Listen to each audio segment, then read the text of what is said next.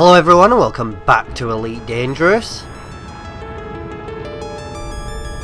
And today we're going to be taking a look at the engineers, which now turns out is very important. It was important anyway, just to get an advantage over other ships. But now if you want the anti-corrosive cargo holds, you will have to advance through two engineers to get to Professor Palin.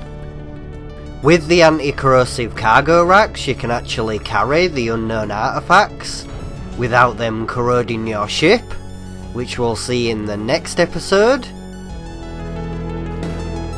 So here we go then at one of the first engineers, where we're able to modify power distributors or our beam lasers.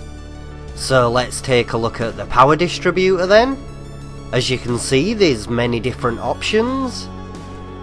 But you can only do the blueprints for the ones where you have the resources. So as you can see there, some are in red. That one I can actually do.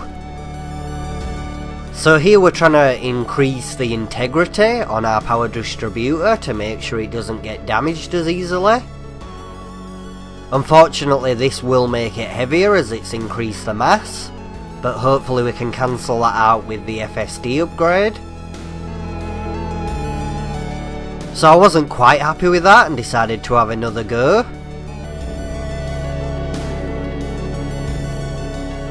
This time the mass wasn't as bad and I also got a secondary effect of uh, system recharge. So next we can look at the beam laser, which again there's lots of things you can do from making it a long range weapon to a short range weapon. But I again was wanting to make things as light as possible to get my jump as high as I can. And as you can see here, I had a chance of getting an experimental effect, but unfortunately it failed.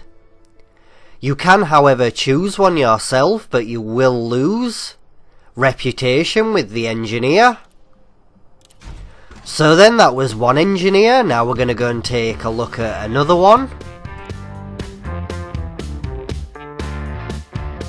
So here we are at Felicity Farseer, and as you can see, she can do a lot more than the previous engineer.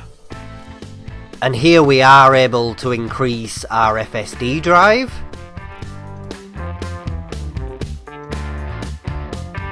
And here we want as high as optimized mass as we can get. Also, a low power draw won't hurt. And this actually put my jump up by about 5 to 6 light years. And I know that you can definitely get way more.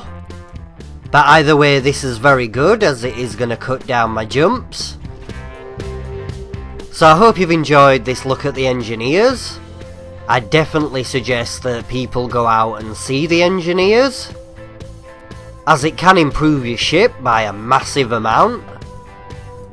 In the next video I'm going to be taking a look at how you get started on the Thargoid machine which will include how to get hold of an unknown artifact, as well as an unknown probe, and getting you on your way to getting the anti-corrosive cargo racks. But until then, I'll catch you in the next one.